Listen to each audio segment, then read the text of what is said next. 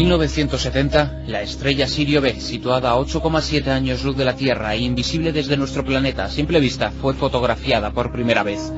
Los astrónomos llevaban años intentándolo, pues habían descubierto ciertas fluctuaciones de luz que indicaban que la mítica estrella Sirio formaba parte de un sistema binario.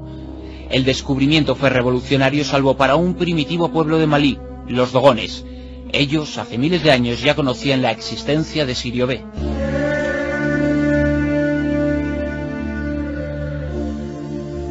El origen de los dogones se sumerge en tiempos casi prehistóricos. Se sabe que descienden de los garamantes, los abuelos culturales de los actuales tuareg.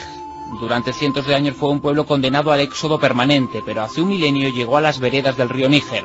Hoy este pueblo tradicional todavía sobrevive, lo hace a 400 kilómetros al sur de Tumbuctú. Se cree que son unos 300.000. Materialmente no poseen apenas nada, sin embargo, su tradición cultural y sus raíces le convierten en un pueblo rico como pocos.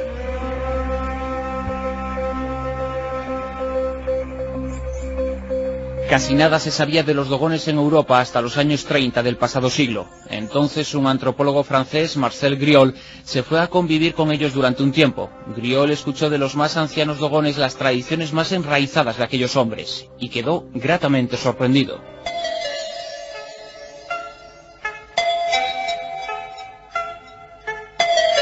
Los dogones parecían poseer conocimientos astronómicos impropios de hombres apartados del mundo occidental aseguraban que antiguamente bajaron del cielo sus dioses instructores y que ellos les llegaron sus conocimientos. Llegaban, por supuesto, de esa brillante estrella del cielo a la que ellos llaman Digitaria y que la ciencia conoce como Sirio. Los dioses, amos del agua y proveedores de la lluvia eran una suerte de seres anfibios llamados gnomos. Habían llegado a nuestro mundo hace 5.500 años.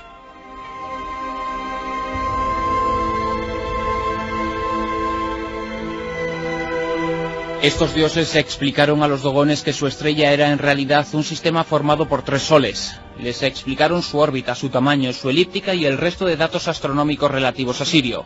Los dogones ya habían pintado sobre piedra lo que sabían sobre esta estrella y sus acompañantes hace cientos de años.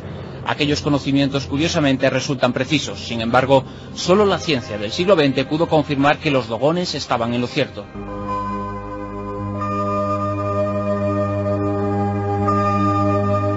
Los dogones sabían además hace miles de años otras muchas cosas sobre el universo. Conocían, mucho antes de que lo descubriera Galileo, que Júpiter estaba rodeado por cuatro satélites de gran tamaño y que Saturno disponía a su alrededor de numerosos y bellísimos anillos.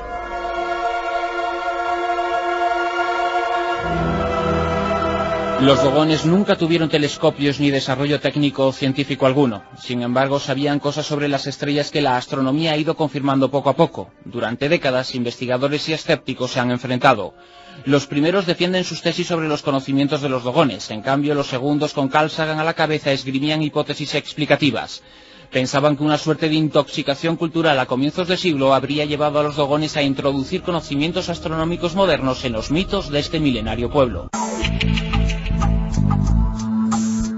La teoría de los escépticos se vino abajo en 1995. Entonces dos astrónomos llamados Daniel Benes y J.L. Dubin descubrieron que junto a Sirio A y a Sirio B existía otra estrella aún menor y más difícil de ver todavía. La llamaron Sirio C. Los dogones, sin embargo, ya lo sabían. Sus mitos hablaban también hace cientos de años de esta estrella que los astrónomos no habían descubierto hasta 1995. ¿Cómo lo sabían? Ellos dicen que seres de otros mundos, sus dioses, bajaron desde el cielo para contarlo. うん。